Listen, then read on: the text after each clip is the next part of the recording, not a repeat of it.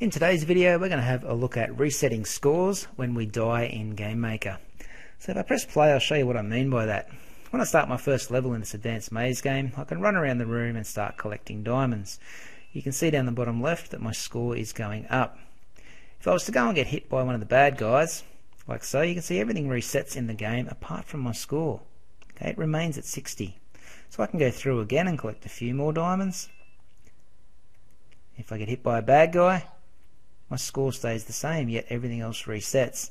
Now that's like giving the player a 110 point head start in this case. Okay, and we don't want to do that.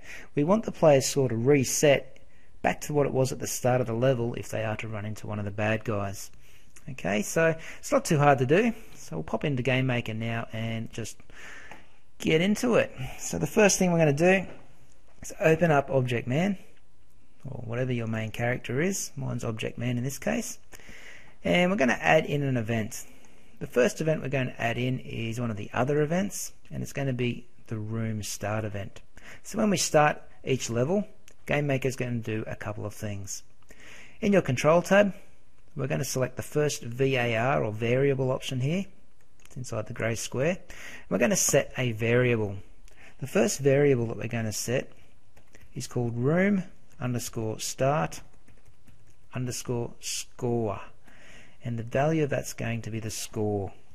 So basically what that is saying is when we start a level, GameMaker is going to take note of what our score is and just keep that in its memory. Okay, if we are to die later on, it will reset our uh, score back to what it was at the start of the level. Okay, so when we start the level, we're going to take note of the score. We also need to set one more variable. So go back to the control tab and just set another variable. The other variable we want to set is called pass underscore level and we want that value to be set to false.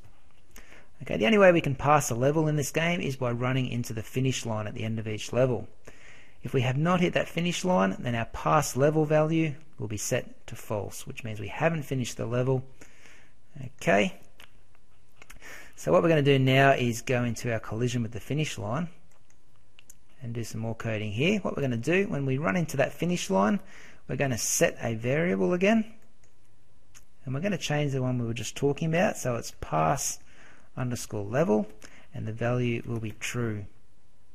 Okay, so when we do hit the finish line, we're going to change that variable called pass level and we're going to put its value as true to show that yes, we have completed that level successfully. When you press OK, that variable well that action sorry needs to be moved up the top of this actions box okay that way it's going to work for every level. If you leave it at the bottom it will only work for the first level. So make sure you drag it up and sit it at the top of your actions box there.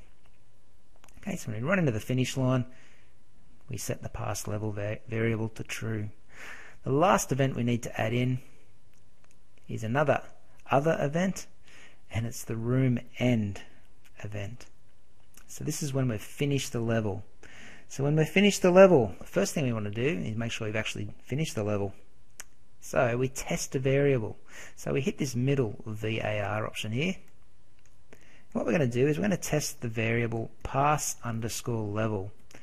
And we want to see if it is equal to false. Because if it's equal to false, we haven't finished our level. We haven't hit the finish line. So click OK. So if that's the case, if we die and we haven't finished our level, what we need to do is set a variable. So let's go back to this square VAR. And what we're going to do is we're going to set our score and we're going to set it to the room underscore start underscore score. Okay, so what that does is just resets our score back to what it was at the start of the level. And click on OK. Okay, so we've added three things in there today. When we start the room off, we just need to write down what our score is. Well, GameMaker will do that for us. And we also need to set pass level to false. That means we haven't finished our level yet. When we hit the finish line, that's when we can change our variable pass level to true. It means we have finished our level. And then when we get to the end of the room, first of all, we just check to see if we've actually hit the finish line. If so, oh sorry, if we haven't, then our score will reset back to what it was at the start of the level. Okay. If we do hit the finish line legitimately and the variable is set to true, then the score just keeps adding up. We don't need to tell GameMaker to do that anymore. So click OK. I know I'm not very good at explaining that, but if you um, save up your game and give it a test run at the top, we can test this out. Okay, so now when we get hit by the bad guys, we should be seeing our score reset to what it was at the start of the level. Okay, because this is a big game, it's probably going to take a little while just to compile. Usually takes about 20 or 30 seconds, so mine will just take a little while. Um, I can see that it's still loading up here.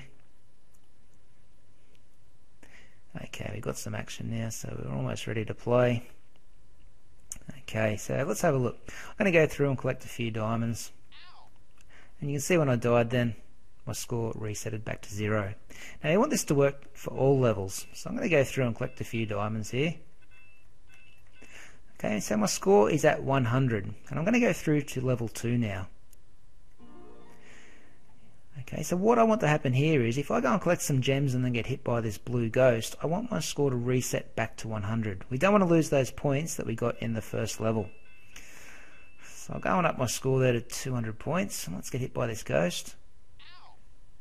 There we go. So we can see our score did reset back to 100, what it was at the start of this level. So it still remembered our points that we collected in the first level, but it took away the ones we collected in level 2. Okay, so that seems to be working fine. Make sure you save that up. And if you want to take that home and play it, don't forget to go to File and create an application. Okay, that's all.